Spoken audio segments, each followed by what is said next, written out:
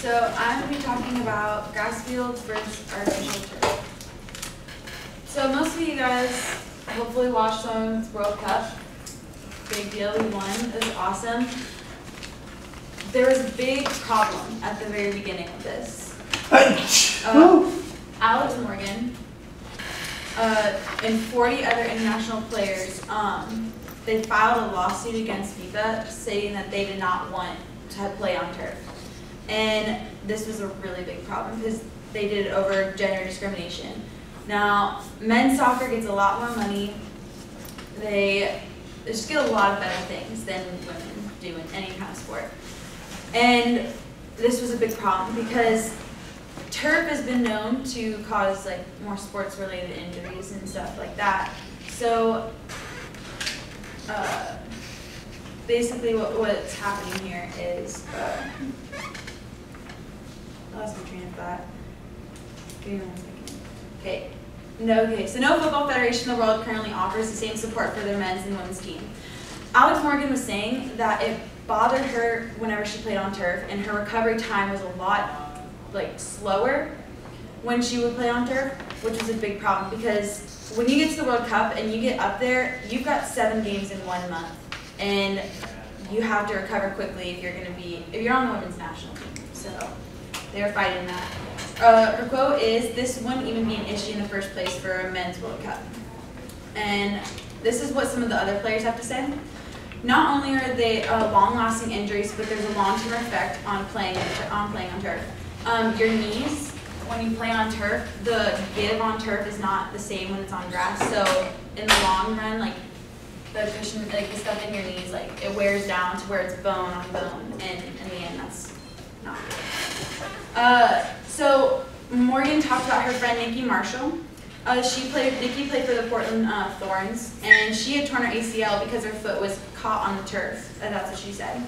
So what happened is she had planted her foot, and she tried turning, and the turf doesn't give like the way grass does. When you turn, it won't rip, say. So when you get caught in the turf, that's obviously not good. She tore her ACL. Uh, Dr. Michael uh, claimed truth to Morgan's complaint about turf.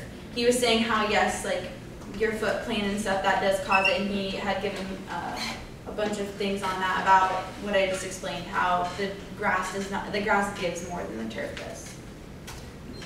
Uh, here's a quick video. So the Women's World Cup started this week. All those cheers you heard last night from every house on your block. Air was 75 degrees. The temperature on the field, the temperature of the field itself, was 120 degrees for the opening day on Saturday.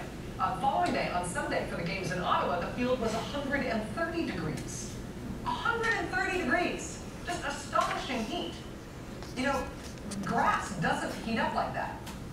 So, as you can see from that, uh, yeah, it's a big problem. That was a big problem for the Women's World Cup. Um, there's also uh, hmm. there, toxins from the turf.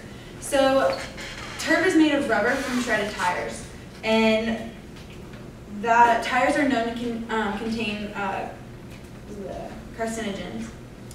And that is basically a substitute capable of causing cancer in living tissue. Uh, this is a big problem, not for just play like soccer players on the field, but for keepers.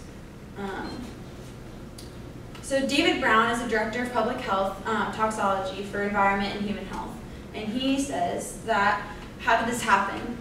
How did we end up with children playing on the field that we have that we know have carcinogens in? And so this is the goalkeeper's curse. So Ethan Zohn is a keeper, and he had he got Hodgkin's lymphoma in 2009.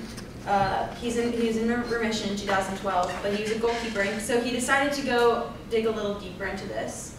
Uh, he found out that 46 goalkeepers, um, he found 46 goalkeepers who have Hodgkin's lymphoma, uh, and it was all relating back to when goalkeepers dive on the ground, they're breathing in that turf, and whether they want to or not, and it's getting in their cuts, because you look at goalkeepers, they've got cuts all up their body and turf burns. Um, So this is something that Ethan said. The fields, uh, the field smell. He says it's a strong chemical smell. Um, what are you inhaling? We don't really know. Uh, we want the answers to um, answers to that before you install them, particularly in places where they're um, where there are kids and athletes in high stress situations. So my, so like, he that's a big problem. Um, he met a girl named Amy Griffin, and she was assistant coach for the University of Washington. And she was saying how uh, it was a problem with. She went to a hospital, and one of the things that she said is, "I know it couldn't be completely random." Griffin says, "I'm not trying to take down field turfs. I just think it's my obligation that when parents are coming to me, I need to find more uh, about it. One time, I was at Seattle's Children's with someone who was getting chemo, and a nurse walked by and goes, "You're the fourth goalkeeper I have hooked up to chemo this week, just in one week." Um, so, turf is just a little bit of a problem. Uh, real quick, the cost of grass. Uh, natural soil fields cost around fifty thousand to one hundred fifty thousand uh, to implement. Uh, there's sand based.